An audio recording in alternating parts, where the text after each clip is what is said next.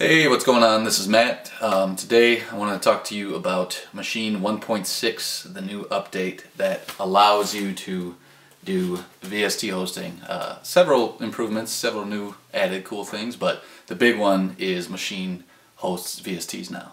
So for me, this is now like the one-stop shop. Uh, I love it. I mean, I'm doing everything just in this. I'm not even going to the DAW half the time anymore. So uh, it's really exciting. So I'm going to show you some quick tricks, uh, how to sample things in, uh, how to use live inputs and stuff like that. Just something you may have not considered. So let's do it. Here we go. Alright, so the way this works is I basically have set up a couple instruments inside a Maschine. Um, the mic I'm just using as an input source so you can hear what I'm talking about right now. But of course we can sample off that later. Um, but I have a drum kit from Kontakt so you can see what it looks like when you actually have instruments loaded in. So here's a great new Kontakt library.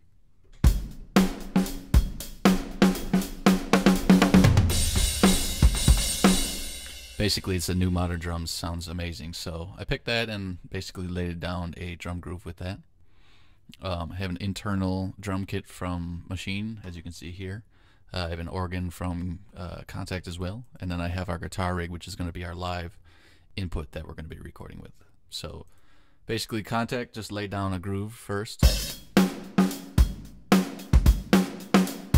Now the great part about Maschine 1.6 too is like you can see I can actually load in extra effects here. So I put this nice little preset over the top on the drums if I really want them to punch.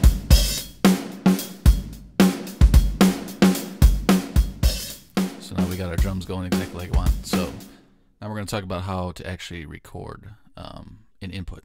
So input one here, I went ahead and you just go to any pad, hit input, and go in and make sure uh, module one is set to input.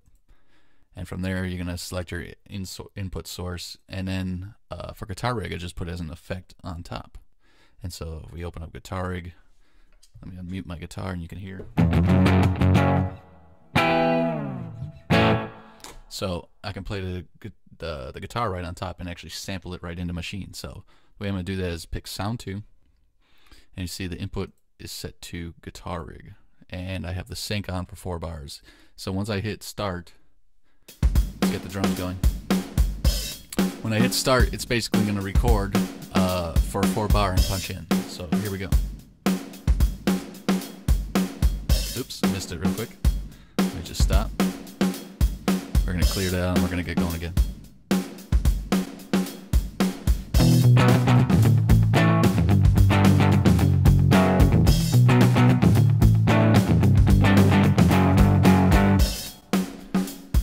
So there we go.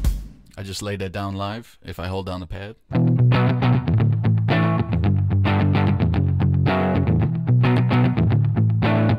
It's in there.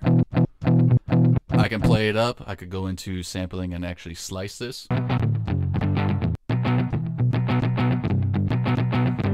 You know, you could actually mess with it that way too, but uh, for this purpose, we're just going to have it play. And so if I actually go into the pattern mode, uh, I'm just going to have that playing like that. So as you can see, we'll go back.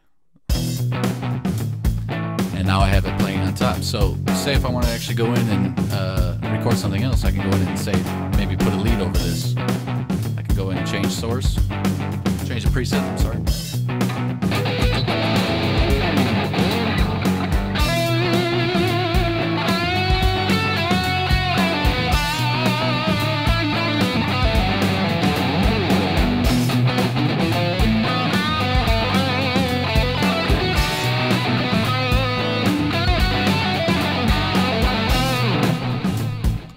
Great. You can kind of just take one input and uh, actually tweak it nonstop. And so, of course, if I wanted to go and record that onto a new pad, I could just go and select uh, another pad and then go into the sampling.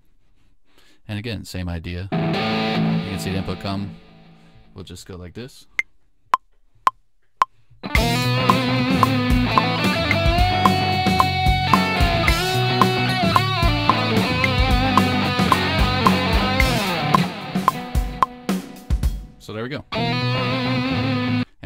Obviously, if I wanted to slice this up, I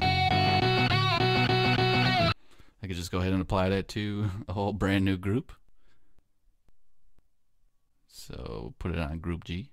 I'm just going to clear that. Let's play the whole track.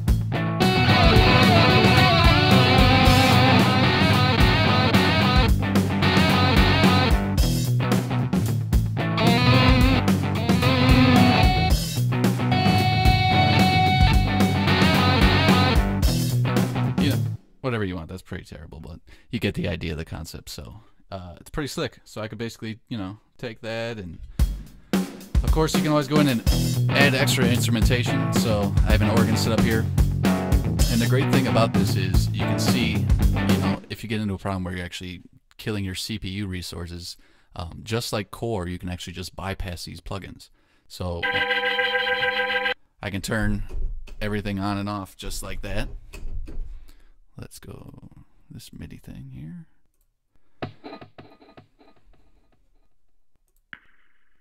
And so if I want to play this in time, I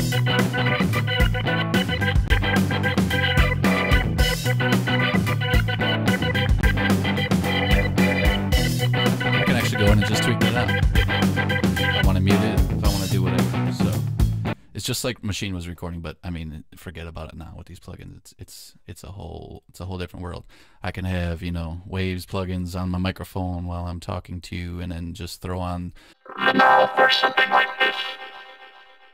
So it's kind of slick. Even if I wanted to actually go in and let's just set this up real quick the same way, sample it in, change the source to my mic.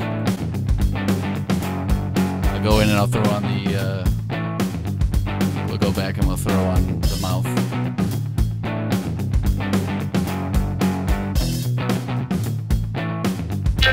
The mouth. One more time with the mouth. Check it out, check, check, check it out. Check it out with the mouth right now.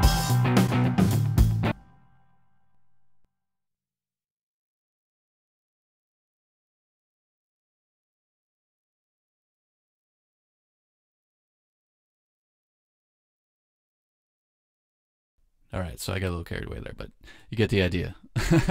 so uh, that's just a quick idea on how to use it. You know, I'm basically kind of using like Ableton, except uh, again doing it all inside a Maschine. This is just running standalone. So just hope this helps. So uh, you know, check it out and try it for yourself, and stay tuned for more uh, tutorial videos like this. Take care.